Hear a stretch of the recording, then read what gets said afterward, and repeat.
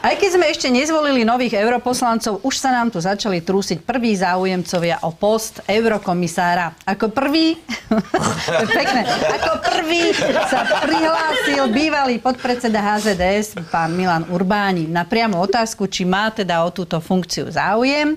Pán Urbáni povedal, citujem, som pripravený, ak by to bolo potrebné.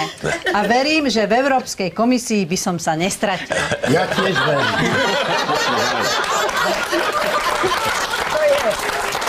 Prečo by sa strácal? Prečo? Ešte, aby sa strátil. Bude, to, to by vyzeralo, že keby sa tu napýtal, prosím vás, kadiaľ do Bruselu. K tomu treba ešte jednu vec povedať, že ešte sa e, a, žiadny Euró, v Európskej komisii, ani komisár, ešte tam nikto nestratil. Bol by prvý, keby sa stratil. Keby sa strácal, a bola by ho aj škoda. No, toto je super heslo, že som pripravený, ak, Ak by ak bolo. by bolo potrebné. No. To by si mali všetci muži zapísať za uši. Nie len...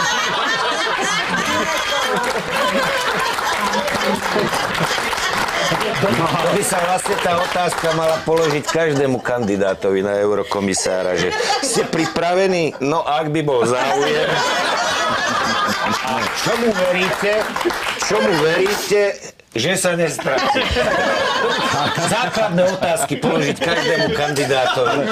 Splňa, nesplňa.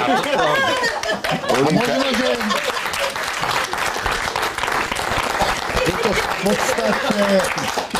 V podstate t- je to odvodené zo skautského hesla Buď pripravený. Ja som bol skaut, ale nepamätám sa, že by sme sa zdravili tak, že buď pripravený, ak by bolo treba.